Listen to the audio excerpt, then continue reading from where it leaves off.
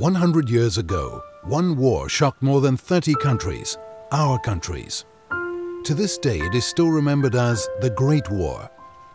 The world we live in today has been shaped by that event. Every family bears its marks and memories.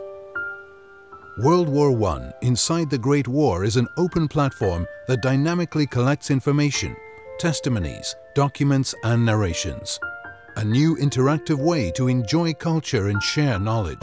Across the entire front line of the war, its ambience and locations can be explored thoroughly and freely, allowing you to travel back in time and to step into the shoes of the soldiers and civilians who inhabited those places a hundred years ago.